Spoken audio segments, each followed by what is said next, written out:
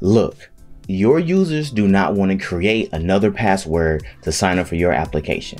You can make a life lot easier for people who are trying to sign up for your website by letting them sign up with the service that they already created an account with, like Twitter.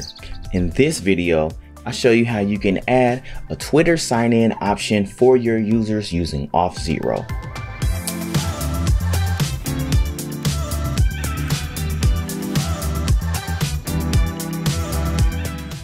Hi everyone, my name is Will.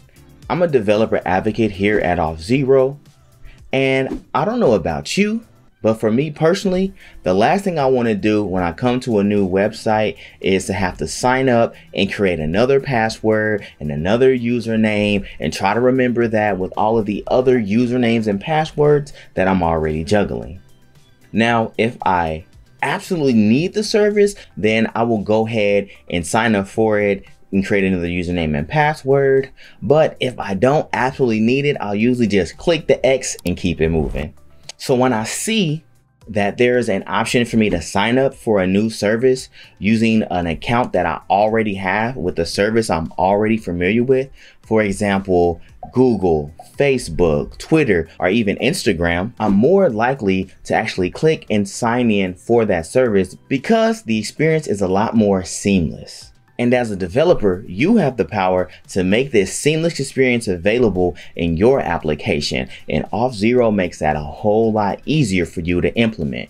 So in this video, we're going to add a sign in with Twitter button to an application. In order to complete this tutorial, you will need two things. First thing you need is a free Auth0 account. You can sign up for one in the description and you need also need a Twitter developer account, which is also free. Now, in order to get access to the proper endpoints, you will need elevated access to the Twitter account, which is free and you can sign up through the developer portal. Um, and it usually takes uh, a few minutes to get approved for the elevated access. So now let's head to the Auth0 dashboard so we can get started. When you log into Auth0, you'll be met here with the Auth0 dashboard on the Getting Started page. If this is your first time with Auth0, you have to create a tenant first, and this is where all your applications will be held. So let's go to Applications, Applications to create our application to use for this demo. Then we're going to click Create Application, and then we're going to name it. So I'm going to say Twitter Auth0 Demo and make sure Twitter is spelled right. And then I will go to single page web applications because I'm going to make this a React application and then I'm going to click create. So when you first create application is going to bring you to a quick start that'll ask you what technology are you using for your web app. Um, I'm going to select React and uh, it'll give you two options. You want to integrate with your own app or you want to explore a sample app. To save time on this tutorial, we're going to explore a sample app. So I'm going to actually download the sample. When you click on download sample, it'll show you some settings that you need to configure in your Auth0 account to link your application to Auth0. So Auth0 knows where your application is coming from and where to redirect your application to after Auth0 handles the authentication process. So let's click download sample and this will download as a zip file. Before we get to the zip file, let's copy this localhost 3000 and actually visit the application settings and configure those uh, values that it wants us to configure. So let's scroll down on our settings, paste in localhost 3000 to allow callback URLs, allow logout URLs, and allowed web origins. And let's scroll down and click Save Changes. So here I've downloaded and extracted the sample application and I've opened it up in VS Code. Now this sample application is already configured with Auth0 with the login and the logout process. If you want to learn how to configure this application yourself instead of using the sample app, you can visit the Auth0 Developer Resources. Developer Resources has guides that will walk you step by step on how to implement Auth0 into your application with the tech stack of your choice. All right, so now back to our application. Let's go to the source file. Inside the source file, there will be a authconfig.json. Inside the authconfig.json, there is the domain value and the client ID value.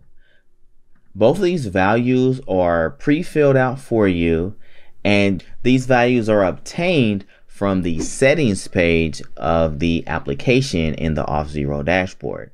These values get pre-populated when you download a sample application from the Auth0 dashboard.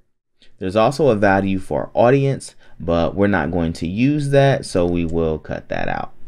And make sure that you hit save. So the next thing we're going to do is head down to the terminal and hit npm install to install all the npm packages. And while that's doing this thing, I'm going to come back to the video when it's done. Now that everything is installed, we should be able to run the application. So we're going to do npm run SPA for single page application. That'll just run the React portion of the application. So as we see, we're on localhost 3000. We already have a React sample project that is already configured with Auth0. So just to see how everything works, we're going to click login. We'll get redirected to the Auth0 universal login page. And then I will log in um, with my email and password. Right, it would ask if I want to authorize the app and then we'll click accept. Now, if you don't have a user already, then you will need to create a user and do that by signing up instead of logging in. And then you see I have my profile picture here. And if you click on the profile, there's actually some metadata, including the nickname, a name, um, the URL for the picture, email address, if the email address is verified, and um, all of those type of things. So now I'm going to log out of the application and it'll bring us back to this home screen. So now let's go back to the Auth0 dashboard. So now let's actually set up the Twitter connection. So let's go to authentication, social, then it'll bring up the social connections page. Then we'll in the upper right, we'll click create connection. And then we'll scroll down to Twitter. Then this will tell you what Twitter will need access to. Click continue. And then on the bottom right, we'll have like a little tutorial. I will cut that out. Um, and then we will do the setup. On the new Twitter social connection page, you need a uh, consumer API key as well as a consumer secret key we actually get those from the project that we create in the Twitter developer portal. So let's head there now. Okay, you can get to the Twitter developer portal by going to developer.twitter.com and then we click on the developer portal. I'm already signed in, so I'm good to go. Okay, so in the dashboard of the Twitter developer portal, so the first thing you need to do is actually create a project. So we'll give it the name of Auth0 Twitter demo. Then we would click next. Use case. Uh, I'm just exploring the API. Um, then for the product description, Twitter login with Auth0. So what I'm going to put. And then we'll put for development. And then after the project is created, it asks us to create an app. Uh, so we'll get an app name off zero Twitter tut. So here where we will get the API key and as well as the API secret.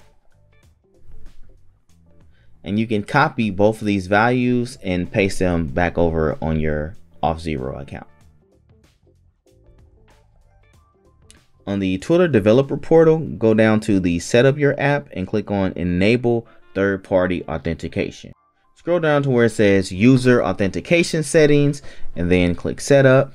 Then on the user authentication settings page, go down to type of app and click on web app. Then you go down here to app info and in app info, it'll ask for a callback URI and redirect URL.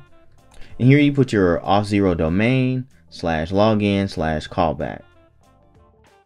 And remember, if you need to get access to your Auth0 domain, it's available in the settings for your application. It also needs a website URL, and this would just be your Auth0 domain. With all of that configured, let's scroll down and make sure that we hit save. This will show you the your OAuth 2.0 client ID and your client secret. So let's go back to Auth0 dashboard um, and we're on the new Twitter social connection page. Make sure that we click create. And then it'll ask you for the applications that you want to use for this connection. And I'm going to scroll down to our Twitter Auth0 demo application and enable it there. Now that the Twitter social connection is enabled in our application, let's go back to our sample application. All right, so we're back on the sample application. Let's click log in. And now you see we have a new option for as continue with Twitter. So instead of entering my email and trying to remember my password again, I can just click continue with Twitter. It'll ask you to authorize the app and then you'll get redirected back to the application. You want to accept that this application has access to your uh, profile and email. Click accept. And now I am logged in with my Twitter profile. And if you click on the profile, you see it has some information from my Twitter profile, like my nickname, my name, and even the URL of where my avatar is stored. All right, so I'm going to log out. All right, so that's it. You're able to use Auth0 to add a Twitter social login to a React application. Now remember, if you're not using React, you can use our quick starts with the technology of your choice to get started with the application. And if you don't want to use a starter application, you can go to Auth0 developer resources and take one of our guides that will show you how to incorporate Auth0 with the technology of your choice. Thank you so much for watching this video. And if you have any questions, make sure you leave a comment and we will be sure to answer it as soon as we can. Thank you so much. See you next time.